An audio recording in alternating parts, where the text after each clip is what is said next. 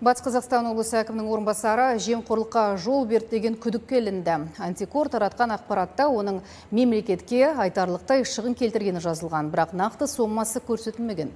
Тіпті шенеунік кінәсін мойындап түлгіріпті, сондықтан қамауға алынбаған. Анық қанығын тілшіміз тарқатсын ал оның қылмысы дәлелденсе отставкаға кетуге дайынсыз ба? Мен дайынмын. Онда тұрған ештеңе жоқ.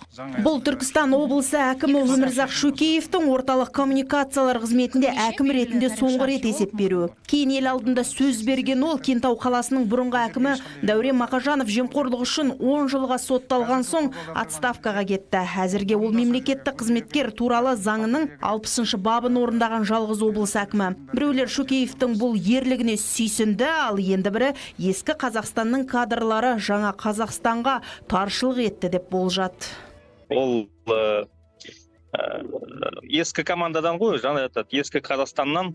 Э, енді қазіргі кезде ол оған мүмкіндік болмайды енді жұмыс істеуге. Шукеевтің командасы көбісі анау жемқорлықпен айналысады. Олар ол енді келмейді потому что олар этот оларға оған айтты шығар егер сен келсең тағы да басқа сен командасынан шығарамыз. Бізде іскер бар сол. Сондықтан ол қазіргі кезде мемлекет қызметке айналыспайды.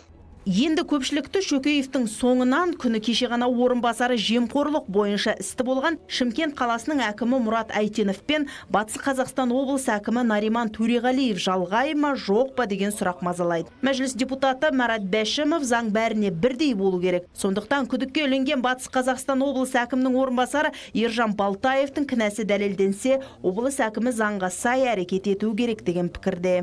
Әкім облыстарында айтайықшы бәрін біліп отырады. Кім қандай тендерлер кімге береді кімнің кімнің туыстары сол жақта жұмыс істейді иә? Содан кейін мен де ешқашан сенбеймін. Мысалы бастық білмейді дегенге. Бастық бәрін де біліп отырады. Сол үшін ол дәлелденбесе де бірақ оның жауапкершілігі болу керек. Бәрі өзінің орнынан кеткісі келмейді. Тұрып алады орнында осындай иә биліктен кеткілері келмейді. Ол да бір ауру секілді ғой.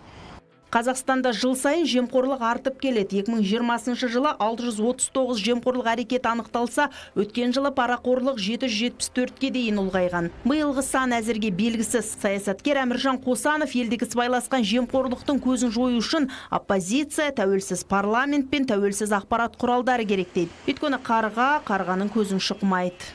Кез келген мекемеде, мемлекеттік органда, кез келген жерде мемлекеттік бюджетке қатысты. Бірінші басшы ұрламаса ешкім ұрламайды ол аксиома ол дәлелдеуді қажет қажет теорема сондықтан орынбасарлары бірінші орынбасарлары екінші үшінші орынбасарлары осындай жемқорлыққа барып жатса жеме жемге келгенде оның артында бірінші басшы тұрады. Міне осыны тек қана біз секілді сарапшылар саясаткерлер журналистер түсініп қана қоймай президент түсінсе Сарапшылар 30 жылдан бері қоғамға сіңіп алған жаман әдеттен арылу үшін қатаң жаза керек дейді. Марат Бәшімовтың айтуынша ақша жеген шенеунікке тек айыппұл салдырмай түрмеге отырғызу қажет. Сол кезде ғана қоғам парақорлықтан сәл де болса тазарады. Гүлназ Сайлауқызы Ерлан Сарманов, Атамекен бизнес.